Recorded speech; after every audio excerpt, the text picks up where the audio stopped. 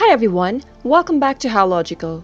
Today, we're learning how to reset your Zoom password in times when you've forgotten your password and cannot sign into your account.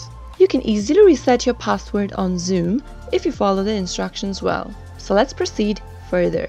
Before jumping right into our video, I would like to request you to subscribe to our channel if you haven't yet and press the bell icon so that YouTube will notify you whenever we post a new video. Start by opening your web browser and type in zoom.us. Hit the enter on your keyboard and doing so will take you to the official website of Zoom. To reset your Zoom password, click on the sign in button at the upper right.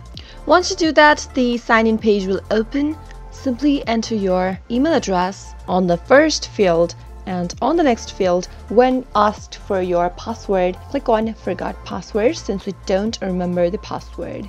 Now, on the next page, Zoom will send you an email. Go check your email address associated with Zoom and you'll receive an email. Simply open the email from Zoom and click the link to change your password. Now, to reset a password, enter the new password you want to change to. While entering a password, make sure your password meets these criteria mentioned below.